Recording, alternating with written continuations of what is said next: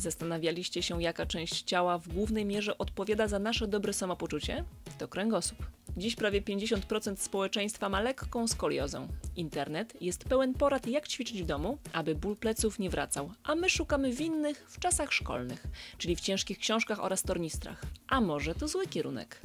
Dziś każdy plecak czy tornister jest wyposażony w usztywnione plecy. Posiada też szerokie szelki z gąbkami, które nie wrzynają się w drobne ramiona dziecka.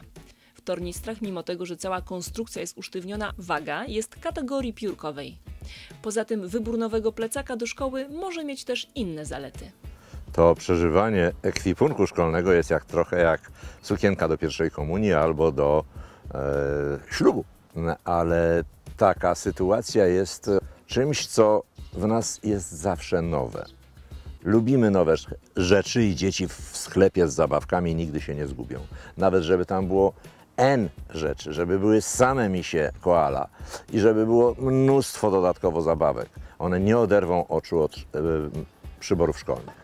Szkoła jest bowiem wymiarem dorosłości, jest nobilitacją, jest czymś takim, co wprowadza nas w świat dojrzałości człowieczej. Tak jak pierwszy kapelusz, który zakładamy na głowę i pierwsze szpilki mamy, które, w których stajemy wtedy, kiedy mamy zaledwie 4 lata.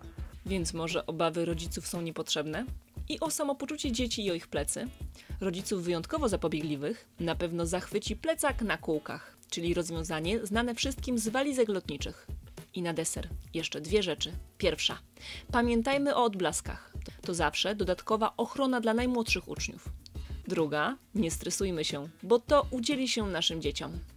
Generalnie do szkoły idą z olbrzymim przeżyciem i z e, e, estymą taką, oczekiwaniem, miłością wręcz. E, fascynuje ich elementarz, zaostrzony ołówek, e, tornister.